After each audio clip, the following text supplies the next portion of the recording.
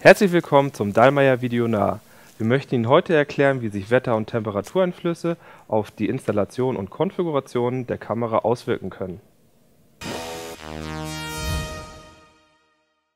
Dallmayr-Kameras trotzen auch widrigen Witterungsverhältnissen und sind für den Betrieb in der kalten Jahreszeit bestens geeignet, wenn diese in einem Wetterschutzgehäuse verbaut werden.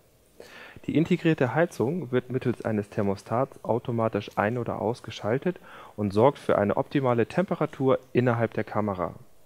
Die jeweiligen Einschalt und Betriebstemperaturen Ihrer Kamera entnehmen Sie bitte dem Datenblatt. Bitte beachten Sie, bei der Installation in einigen Metern Höhe, zum Beispiel in einem Kameramast, kann es möglich sein, dass die dort vorherrschende Temperatur wesentlich niedriger ist als am Boden. Besonders bei der Montage der Kamera kann es sein, dass diese im Inneren sehr stark auskühlt. Die Kamera lässt sich vielleicht noch problemlos anschalten, aber gerade in Extremsituationen kann es durch Materialspannungen vorkommen, dass einige Bauteile sich um Zehntelmillimeter zusammenziehen und somit am Anfang nicht optimal funktionieren. Dies kann dazu führen, dass sich Baugruppen wie das motorgetriebene Variofokalobjektiv nicht optimal scharf stellen und zoomen lassen. Oder auch der Remote Back Focus Control nicht optimal funktioniert.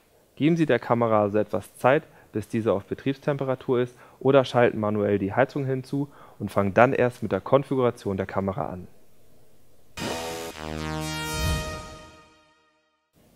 Verbaut in einem Wetterschutzgehäuse können Dallmayr-Kameras auch hohen Temperaturen standhalten. Das Sonnenschutzdach bietet zusätzlichen Schutz vor zu starker Überhitzung. Übrigens, die Dallmayr Sonnenschutzdächer werden nicht direkt am Kameragehäuse installiert, sondern mit einem Luftpolster dazwischen.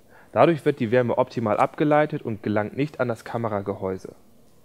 Trotzdem sollten Sie bedenken, dass sich Bauteile im Extremfall bei zu starker Erhitzung geringfügig ausdehnen können.